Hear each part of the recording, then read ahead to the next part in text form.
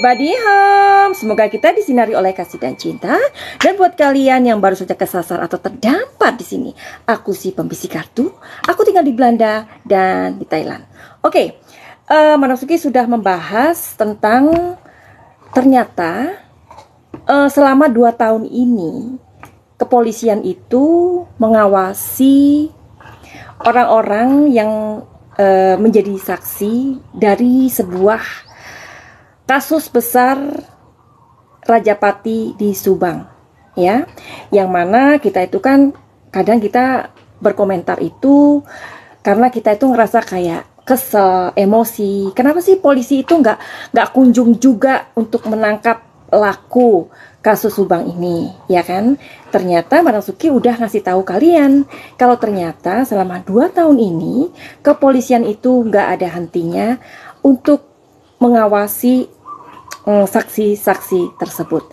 Tapi anyway, Madam Suki juga pengen tahu nih, apakah itu hanya saksi-saksi utama?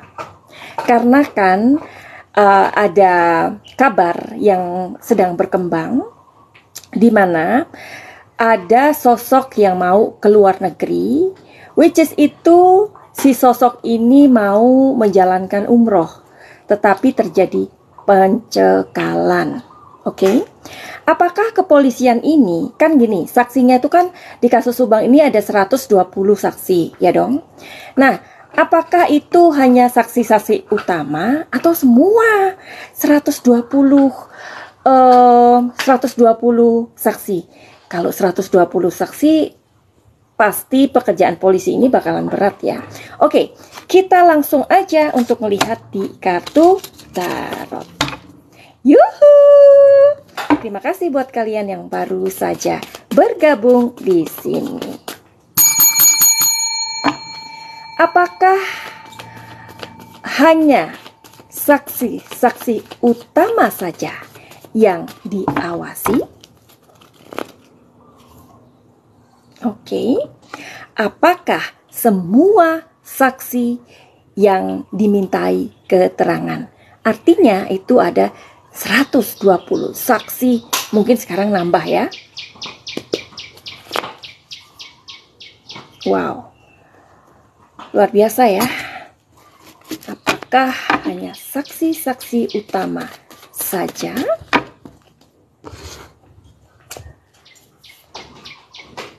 Oke. okay. Wow, wow, wow, wow, wow, luar biasa loh kepolisian itu ya. Ternyata di sini ketika ada dua kartu antara eh, saksi utama dan semua saksi, di sini mengatakan bahwa semua saksi itu diawasi. Luar biasa ya. Secara diam-diam. Nah, tetapi untuk saksi-saksi utama atau saksi-saksi yang sering kali dipanggil di uh, kasus yang terjadi di kasus Subang ini, mereka itu lebih diawasi. Ya. Jadi sepertinya ada pengawasan ekstra begitu. Luar biasa, luar biasa. Terus jadi kalian tahu ya sekarang ya uh, menjadi polisi itu juga gak mudah Besti. Tapi gini anyway Madam Suki ini hanya mempunyai sebuah idea ya untuk bapak-bapak polisi di mana saja di seluruh Indonesia. Karena Madam Suki ini tinggal di Belanda dan di, tinggal di Thailand ya. Uh, Indonesia itu kan terlalu besar ya dong dari Sabang sampai Maroke di mana tindak kejahatan ini semakin luar biasa. Jumlah kejahatan lebih besar ya dibandingkan uh, lembaga dari pemerintah yang maksudnya me mengawasi atau mengontrol kita, ya kan? Nah, kalau di Thailand ada hal yang mereka lakukan di sini. Misalkan gini, tapi Madam Suki tahu karena ini kan di Thailand dan di Indonesia ini kan beda sistem ya kan? Kalau di Thailand ini kan ada sistem kerajaannya. Kalau di Indonesia adalah sistem demokrasi. Tapi karena sekarang kejahatan di Indonesia ini sudah luar biasa, um, Madam Suki punya ide. Kalau di Thailand itu orang laki-laki ya, khusus laki-laki umur 17 tahun ke atas, mereka ini harus mengikuti army. Ya, army atau mereka menjadi mang atau biksu. Ada dua pilihan ya. Jadi menjadi biksu ini pun dan menjadi army ini adalah sebuah kewajiban bagi eh, laki-laki uh, umur 17 tahun ke atas. Jadi mereka ini bisa menjadi biksu, mereka nanti ada di kuil, ya kan? Entah bagaimana di Indonesia terserah aja, begitu. Jadi uh, mereka ini bisa menjaga republik kita ya. Nah untuk orang-orang yang uh, sorry to say ya seperti transgender atau istilahnya lady boy kayak gitu ya mereka ini tidak mendapatkan hal semacam itu ya kenapa karena dianggap di sini itu seperti orang yang maksudnya belum maksudnya um, ya tidak normal gitu loh, ya kan? Bukan benar-benar laki-laki begitu kan ya. Nah, tapi mereka wajib untuk melapor setiap bulan. Gitu. Ya, dan mereka ini pun harus membayar. Begitu. Jadi maksudnya di sini eh, polisi akan terbantu dengan dengan apa ya? Dengan dengan kita semua mungkin jika ide Madam Suki ini bisa diterima. Menurut kalian bagaimana? Oke, kita lanjutkan ya. Um, kasus ini sudah kasus ini apakah terungkap? Madam Suki sudah jawab, ya. Ada ada dugaan yang sangat kuat kalau kasus ini akan terungkap karena melibatkan yayasan. Kalau menurut kalian bagaimana? Karena kalau hanya untuk misalkan balas dendam atau sakit hati atau apa, sepertinya kurang kuat. Tetapi kalau ini menyangkut yayasan, barangkali ini adalah eh, sebuah alasan yang kuat mengapa tragedi ini terjadi. Ya dong? Oke. Terus kita lihat aja apakah padahal Madasuki sudah uh, balas loh ya maksudnya uh, ini udah jawab semuanya tapi nggak apa-apa karena kita mau nge-up lagi apakah kasus ini ketika kasus ini terungkap apakah ini akan menyeret atau apakah alasan yayasan ini kuat sebagai sebuah alasan kasus Raja Pati ini terungkap. Oke, okay? Ace of Wands, Four of Wands, The Hangman. Ini kok terbalik lagi sih? Oke, okay. Jadi, cepat atau lambat, kasus Subang akan terungkap. Dan apakah yayasan ini menjadi sebuah alasan yang kuat terjadinya tragedi ini? Oke, bentar ya, karena kartunya ternyata terbalik.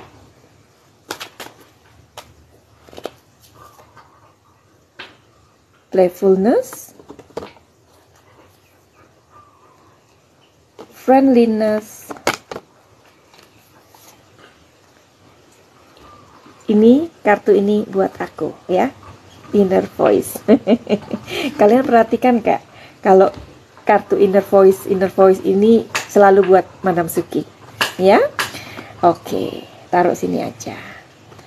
Jadi, uh, di sini energinya mengatakan bahwa yes, yayasan uh, adalah alasan kuat Rajapati atau kasus uh, penghabisan nyawa Ibu Tuti dan Amel ini terjadi. Yayasan menjadi alasan yang sangat kuat. Ya. Jadi ini disclaimer tapi uh, ini bisa menjadi apa ya? Maksudnya perenungan yang dalam. Karena kalau benar-benar uh, yayasan ini menjadi salah satu alasan terkuat, di sini ada Ace of Wands, artinya adalah sebuah gagasan, gagasan, ide, di mana orang-orang ini kemudian bersatu dan kemudian mereka mempunyai sebuah rencana besar. Karena di sini ada a four of wands. Four of wands artinya adalah sebuah pondasi dasar. Kalau kita membangun sebuah bangunan, kita membutuhkan pondasi. Jadi ini memperkuat kartu Ace of Wands. Elemennya sama, wands, wands ya. Di sini ada uh, di sini artinya adalah mencapai hasil. Nah, kalau mencapai hasil artinya apa? Mungkin Ibu Tuti tidak mau diajak kerjasama. Intinya di sini ada orang yang kecewa. Oke? Okay?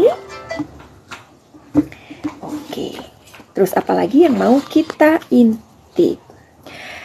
Kabar kuat berkembangnya uh, berkembangnya tentang alasan yayasan ini ya.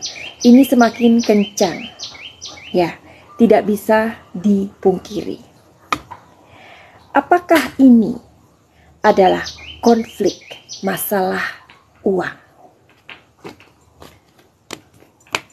Apakah ini kalau ini benar uh, dugaan adalah yayasan, apakah ini konflik mengenai uang?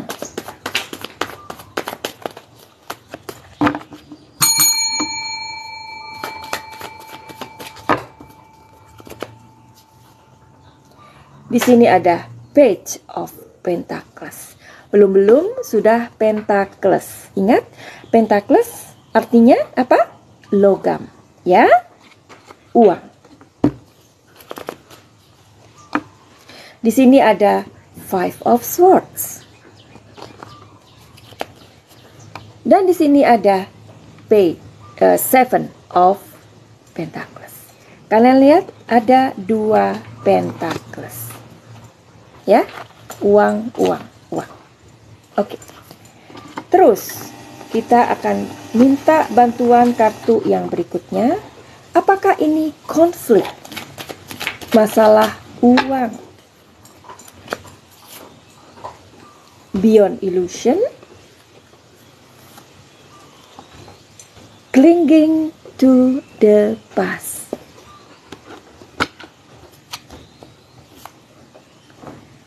Break out. Konklusi dari enam kartu ini mengatakan iya. Telling story-nya bagaimana? Page of Cups. Ada sosok. Ya, ada pihak yang menawari kerja bareng. Tujuannya bareng, tujuannya untuk kebaikan menurut pihak ini. Ya. Ini ada di page of Pentacles. Kemudian di Seven of Swords ini ada sosok atau pihak yang menyalahgunakan wewenang. Ya. Five of Swords. Dan di sini ada Seven of Pentacles. Ada perbaikan keuangan. Oke, sampai di sini kita tahu bahwa ada pihak yang menurut mereka uh, ini ada tujuan baik nih untuk ini, untuk ini, untuk ini, untuk ini. Ya, tujuannya adalah uang kerjasama.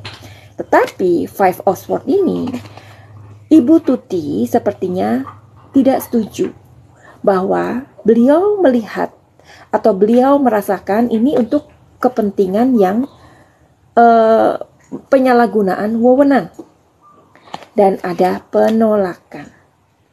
Di sini ada perbaikan keuangan. Namanya orang ditolak pasti marah. Dan kartu di sini ada beyond illusion. Pada saat orang tersebut atau pihak tersebut ditolak, mereka akhirnya merencanakan sesuatu dan diperkuat dengan kartu clinging to the past. Artinya ada hubungan dengan masa lalu.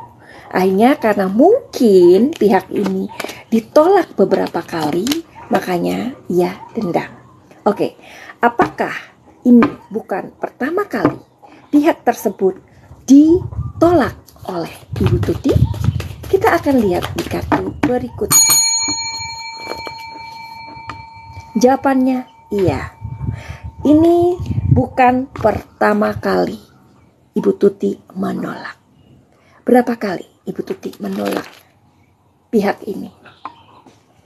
Oke. Okay. Oke. Di sini ada beberapa kali sekitar 4 atau lima kali. Ya. Jadi inilah yang membuat pihak tersebut merasa marah, kecewa. Istilahnya kok apa pun yang dia katakan itu kok sepertinya nggak baik sih, ya? Karena di sini juga ada the fool. The fool ini ada pihak yang merasa kayak di dibodohin gitu. Maksudnya uh, ide-idenya itu selalu dimentahkan oleh ibu ibu Tuti almarhumah. Ada jejak loh.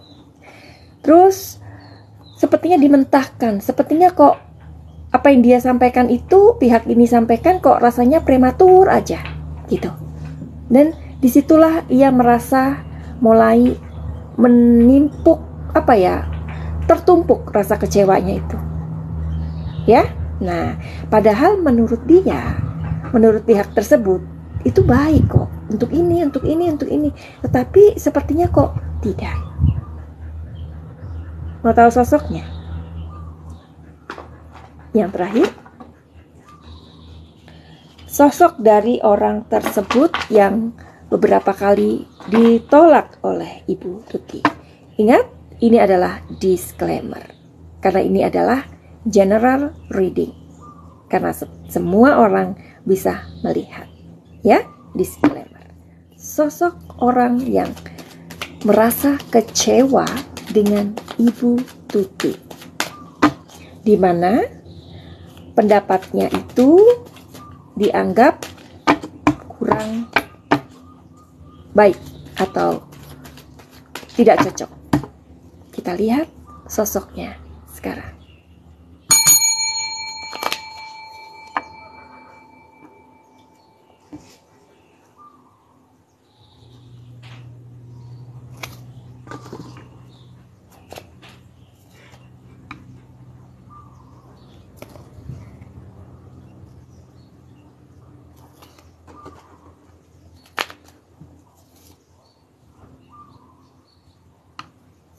Ada orang yang terbalik. Ini nggak usah ya. Jadi yang kita lihat ada ini.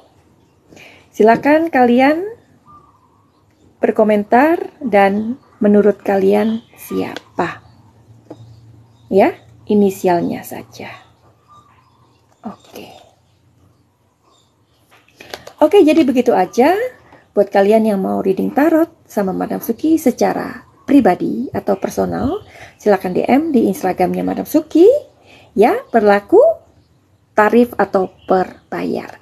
Ini buat kalian yang misalkan uh, kepengen apa ya reading tarot, tetapi ini sifatnya rahasia banget. Oke, okay? tapi buat kalian yang ingin reading tarot sama Madam Suki, tetapi uh, belum punya biaya, silakan ikuti setiap Sabtu pukul 21.00 uh, di YouTube Madam Suki tongkrongin Madam Suki biasanya memberikan reading tarot gratis ya. Tetapi syaratnya kalian bantu 25 video Madam Suki untuk bantu share ke teman, tetangga, mantan, boleh dong ya. Nah, buat kalian yang punya uh, gangguan pikiran, mental illness, atau misalkan pernah mengalami apa namanya? Pelecehan seksual. Atau misalkan pernah dibully. Atau misalkan kalian uh, punya trauma yang begitu dalam dan begitu besar dan menimbulkan uh, gangguan emosional atau gangguan uh, penyakit silakan berobat mengikuti penyembuhan di program paket cahaya ya.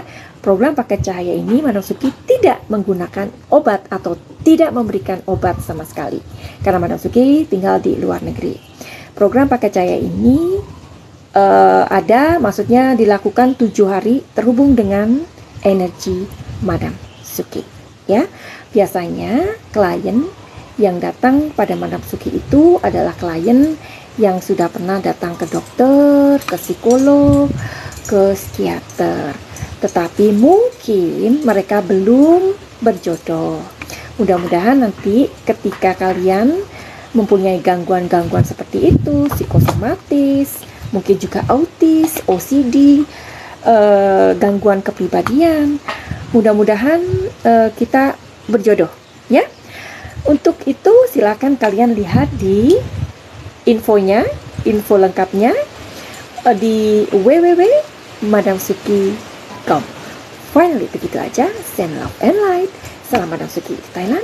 Salam jaya. I love you. Bye-bye.